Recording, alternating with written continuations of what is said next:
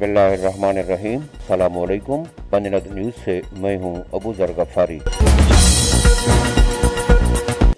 Israeli जंगी तैयारों का गजा पर हमला। दस फलस्तीनी शहीद यूरोपीय यूनियन का एहतसाब का मुतालबा। गजा पर फजाई हमले एक हफ़्ते के दौरान हुए हैं, जबकि मकबूजा मगरबी किनारे में इसराइली फौज के हाथों दस फलस्तीनी शहीद हो चुके हैं।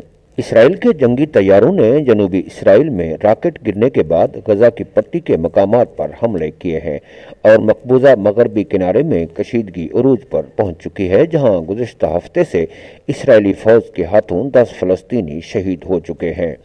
खबर रसा अदारे एसोसिएटेड प्रेस के मुताबिक इसराइली फौज का कहना है कि एतवार को अले सुबह किए गए फजाई हमलों में हथियार बनाने वाली एक फैक्ट्री और हमास से ताल्लुक रखने वाली जेर ज़मीन सुरंग को निशाना बनाया गया है।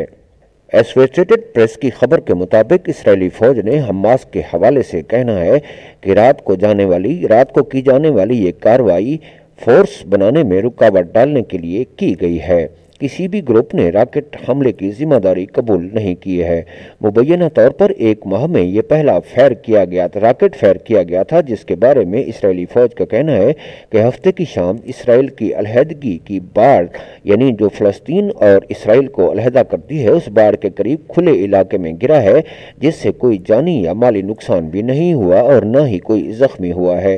गजा पर फजाई हमला जुम्मा के रोज़ दिन की रोशनी में एक इसराइली फौजी की जानब से एक नौजवान फ़लस्तीनी तेईस साल अम्मार मुफले की मुफले को गोली मारकर शहीद किया गया, जिसके गम गुस्से के बाद अभी तक हड़ताल जारी है।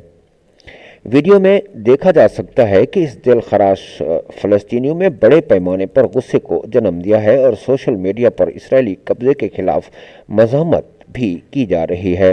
फ़लस्तनी वजारत खारजा ने मफले की फायरिंग को फांसी के मुतरद करार देते हुए इसकी मजम्मत की है और फ़लस्तनी कारकुनान और सोशल मीडिया सार्फिन अरबी में हैश टैग हवारा फांसी का इस्तेमाल कर रही हैं, जिसमें इसराइली फ़ौज के जराइम का जवाब देने का मुतालबा किया है।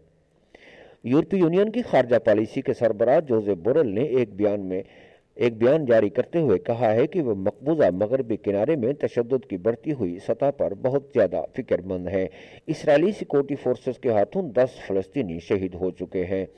इसराइली सिक्योरिटी फोर्सेस सिर्फ़ गुजशत दिनों के दौरान के एक रुकन के हाथों कल एक फ़लस्तनी शख्स अम्मार मुफले का अलमनाक कत्ल इसकी ताज़ा तरीन मिसाल है। इस तरह के नाकबिल कबूल हक की तहकीकत होनी चाहिए और मुकम्मल एहतसाब होना चाहिए। बैन अवी कानून के तहत मोहलिक ताकत सिर्फ़ उस वक़्त इस्तेमाल की जाती है जब ज़िंदगी के लिए संगीन और बहुत ज़्यादा शदीद ख़तरा मौजूद हो। इस साल अब तक गजा की पट्टी मगरबी किनारे और मशरकी यरूशलम के मकबूजा इलाकों में कम अज़ कम 207 से जायद फलस्तीनी शहीद हो चुके हैं। ये थी अब तक की अहम खबरें। इसी के साथ ही अबू गफारी को इजाज़त दीजिए। अपना ख्याल रखिएगा। अल्लाह हाफिज। अफवाज पाकिस्तान, जिंदाबाद। पाकिस्तान, पाइंदाबाद।